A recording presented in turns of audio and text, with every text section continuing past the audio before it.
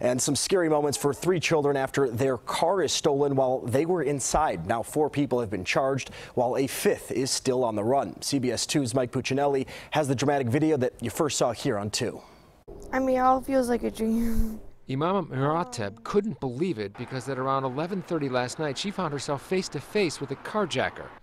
That's the young suspect making a run for it as police are about to close in at a gas station.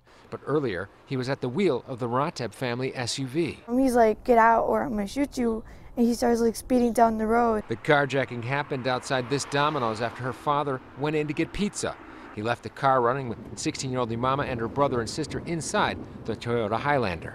The dude just hopped in. Her nine-year-old brother and five-year-old sister, seen here holding hands with the responding officer, were both asleep. Imama was about to doze off when she realized what was happening. I'm like, bro, just get out of the car.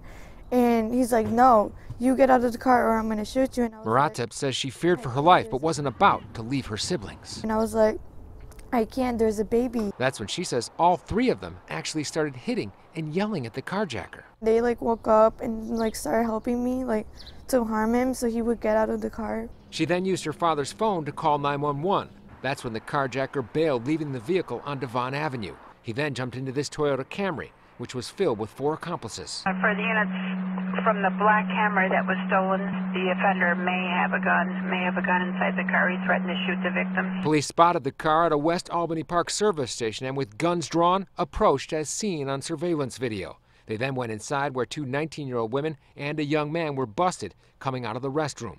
Here you can see them being led to a squad car. But the driver who gave Imama the fright of her life hasn't been seen since he bolted from the gas station. Now safely back with her family, Imama is downplaying her bravery. I was like thinking about like how I'm gonna get out of here. That's it. Well, one thing that is clear, she wasn't going anywhere without her brother and sister. The three adults and one juvenile in custody are all charged with criminal trespass to vehicles. We blurred their faces because one is underage.